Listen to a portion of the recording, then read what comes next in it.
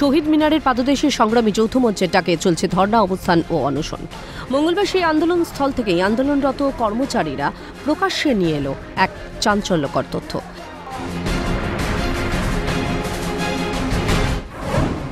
School পড়ুয়াদের পোশাক দুর্নীতির অভিযোগ সামনে আনলো সংগ্রামী যৌথ মঞ্চের সদস্যরা।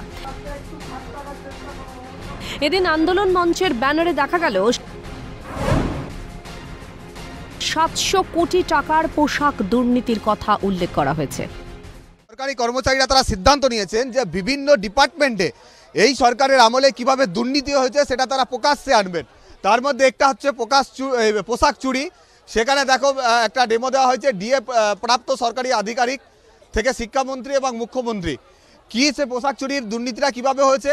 না, প্রাথমিক থেকে অষ্টম শ্রেণি পর্যন্ত ছাত্রছাত্রীদের জন্য ইউনিফর্ম বাবদ বরাদ্দ ছশো টাকা প্রতি শিক্ষার্থী। একজন স্টুডেন্টের পিছু ছশো টাকা পোশাকের জন্য বরাদ্দ হয়। তাদের অভিযোগ, একজন পড়ুয়ার প্রতি পোশাকের জন্য বরাদ্দ ছশো টাকা। কিন্তু যে মানের পোশাক দেওয়া হয় তার মূল্য দুশো পঞ্চাশ টাকার বেশি নয়। পোশাক দুর্নীতি প্রসঙ্গে আন্দোলনকারীরা তুলে আনেন কাটমানি প্রসঙ্গ। তাদের অভিযোগ, রাজ্যে প্রথম শ্রেণি থেকে অষ্টম শ্রেণি পর্যন্ত দু কোটি ছাত্রছাত্রী রয়েছে। প্রতি পড়ুয়া পিছু তিনশো পঞ্চাশ টাকা করে কাটমানি খাওয়া হচ্ছে। সব মিলিয়ে সাতশো কোটি টাকার কাটমানি কার পকেটে যাচ্ছে? এই প্রশ্ন তুলে সরব ডিএ অবস্থান মঞ্চের আন্দোলনকারী সরকারি কর্মচারীরা।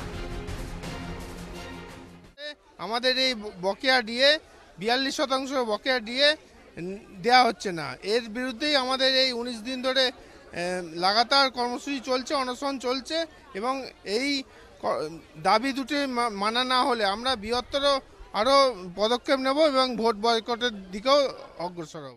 শুধু তাই নয় এবার থেকে এই সরকারি কর্মচারীরা তারা ঘোষণা করছেন যে রাজ্য সরকারের বিভিন্ন দপ্তরে কীভাবে দুর্নীতি হয়েছে, সেই দুর্নীতির পর্দা ফাঁস করবে এই ডিএর অবস্থান মঞ্চ থেকে।